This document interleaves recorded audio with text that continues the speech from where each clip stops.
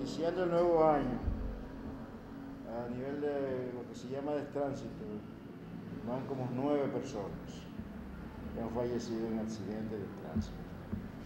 Y tenemos un total de 14 lesionados. Y lesionados que sufren diferentes golpes, fracturas y, guayones por donde quiera, y esos son los lesionados. Es decir que